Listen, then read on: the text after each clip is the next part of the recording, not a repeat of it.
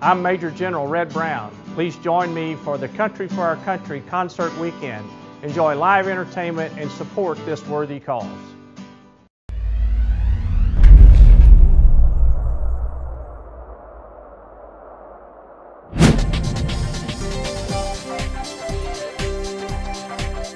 So this week in the flavor section, it's all about Spain. And I've taken some of my favorite Spanish ingredients and we're going to make some empanadas.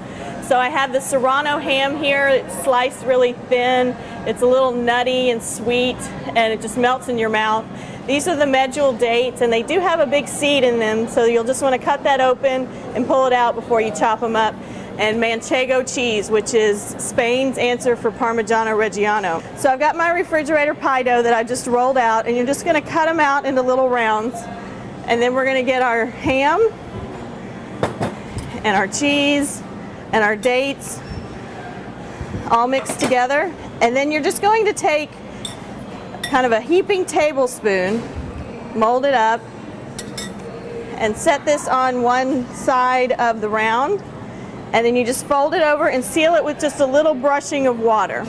And then after you fold it over, we're going to put some egg wash on top so that it'll brown nicely. So I'm gonna get these built and then we're gonna get them in the oven. So I've got my empanadas built. I'm just gonna show you how I do this last one. I've just brushed a little water down here at the bottom. And you just fold it over and press it closed. And then you take your fork and this will help seal it a little bit, plus give you a decorative edge and press that around. And then this is just a little egg and water. And this just gets it nice and brown over the top.